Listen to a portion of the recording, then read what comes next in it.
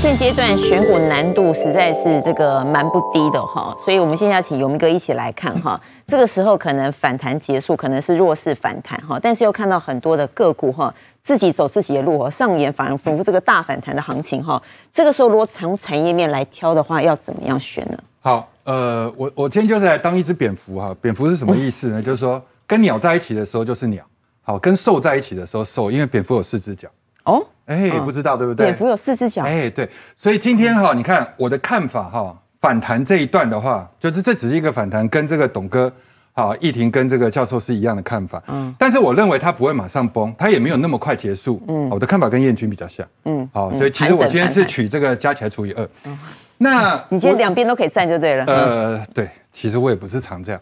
那今天要跟各位讲的，就是说有一个让你脑洞大开的这个投资心法啊。我觉得这点可能在投资上面来讲是最难的一件事，就是什么阶段做什么事啊。我举个例子来讲，股市的多头是分五波，然后空头是分三波。然后呢，在第一波到第三波的这一段里面，要做什么东西最有效率呢？是要做戴维斯双极的股票。啊。刚刚一婷有特别提到戴维斯双杀，那颠倒过来就戴维斯双极，就。还没有升 EPS 之前，本一笔先升，然后等到 EPS 出来上升的时候，本一笔再升，所以两个力量加起来的时候，不是线性函数的关系，所以它的股价就会跳跃式的成长。OK，那就是 IC 设计。嗯但是这个已经经过了，过去了，经过了。对，那这一段要做什么呢？这一段大部分都是做景气循环股。好，就是等于说是第三波末到第五波初的时候，景气循环股、航运啊、原物料，或者是做一些有独占寡占利基的股票，比如说像台积电。嗯，那现在第一波的下杀也发生了。第一波的下杀要做什么呢？当季的题材，比如说元宇宙跟低轨卫星。现在大家比较关心的是这一区，因为现在的反弹就是在这一区。那这一区哈有一个特征，第一个第一怪，好，第一怪就是八百公尺当马拉松来赛。所以明明很短的距离，可是拖的时间很长。嗯，第二怪的话是无量是常态，有量才奇怪。嗯，然后第三怪是什么呢？就是飞机跑的没有汽车快。为什么呢？因为飞机是在这一段做的。对，航空股。嗯，那这一段要做电动车。嗯，所以这一段的股价，电动车跑的会比景气循环快。那这一段是做政策循环的股票，比如说网通、电动车、太阳能或者是水资源。嗯。那接下来这一段是完全不能做股票，因为这个还没经历。OK，我们现在在这里。对，我们现在在这里。那这个时间会拖很长。嗯。那你如果说大盘是很有量直接攻的话，我跟各位讲，一下就 game over。嗯。那你选也不用选。嗯。对不对？你你选举在十一月啊，你九月就涨完了，以后你怎么办？嗯。所以你时间会拖很久，但是空间很小，所以就留 OTC 的股票来代替上市的股票涨。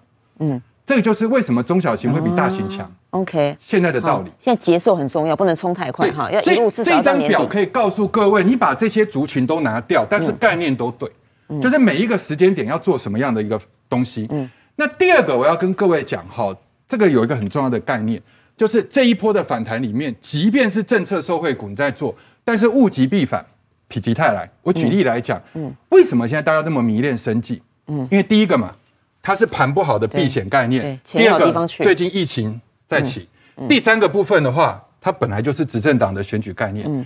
但是各位要很小心，因为它每一个这样的一个生技股，它以前是冷灶，它突然热起来的时候，它会有一个成交极值。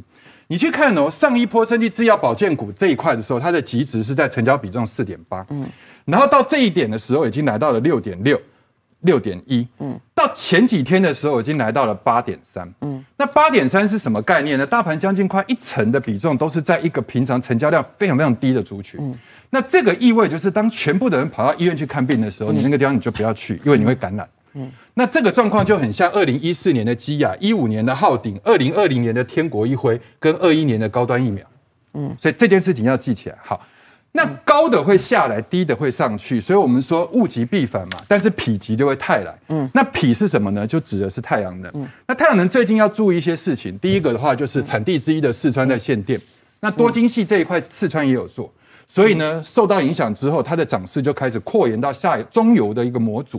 然后第二个部分的话，极端气候本来就会缺电。嗯，那现在目前看起来没水，只有太阳，而且日照时间这么长。第三个中美贸易战的时候，新疆的。多晶系被限制，嗯，所以这一块的话，台厂有替代效果，嗯。那原晶我们在几个礼拜前在讲太阳能那集，我们有讲过，那现在我要告诉大家的就是说，整个下半年的订单能见度非常非常高，嗯，好，大概都是六十几趴的成长。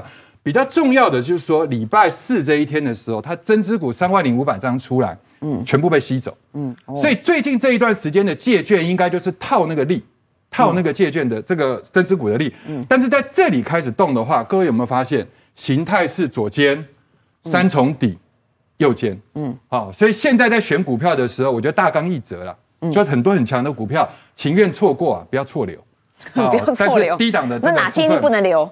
我刚刚说过，爆量的东西都不行，都不行。就是你去算它的成交比重，到达它这个类股极值的时候，就要很小心。